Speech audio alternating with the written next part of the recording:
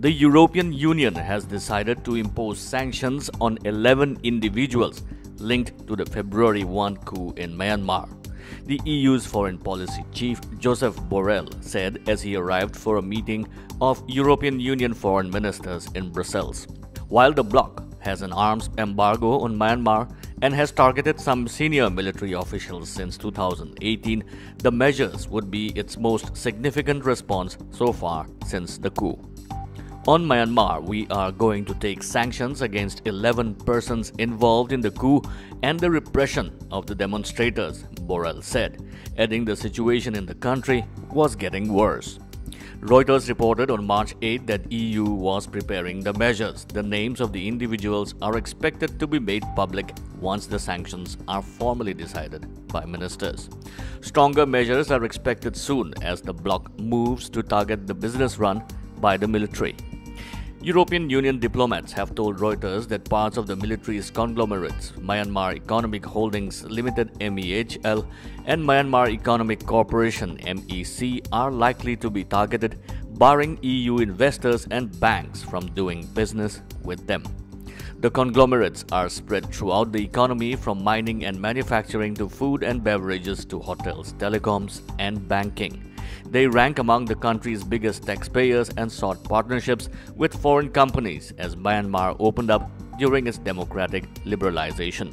An EU fact finding mission in 2019 recommended sanctions against the two companies and their subsidiaries, saying they gave the army extra sources of revenue that could finance human rights violations. Assam State President of Bharatiya Janata Party Ranjit Das today stated that the Contentious Citizenship Amendment Act 2019 will be implemented in Assam once the Saffron Party comes to power in the state. Calling it an ideological commitment of the BJP, Das stated that there is no stepping back in regard to the implementation of the bill. He further assured that the act will not harm the people of the state and the rules will soon be framed, following which it will be definitely implemented in the state, said Das. It needs to be mentioned with just a few days left for the Assam Assembly elections, the Bharatiya Janata Party leaders, including the bigwigs from the party who have been campaigning here in Assam, have refrained from mentioning the CAA. In 2019, CAA was made law after President Ramnath Kovind. The law seeks to give citizenship status to Hindus, Sikhs, Jains, Parsis, Buddhists, and Christians fleeing religious persecution from neighboring Pakistan, Afghanistan, and Bangladesh and who have come to India on or before December 31, 2014.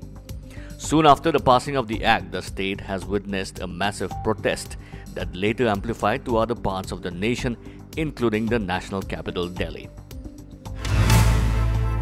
The gap between two doses of the Covishield vaccine should be increased from 28 days to 6 to 8 weeks for better results, the government has written to states and union territories.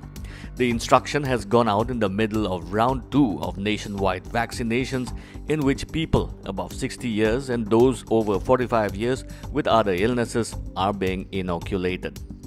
The revised interval applies only to Serum Institute of India's Covishield, the vaccine developed by Oxford AstraZeneca, and not to Bharat Biotech's Covaxin, the center said in its letter today.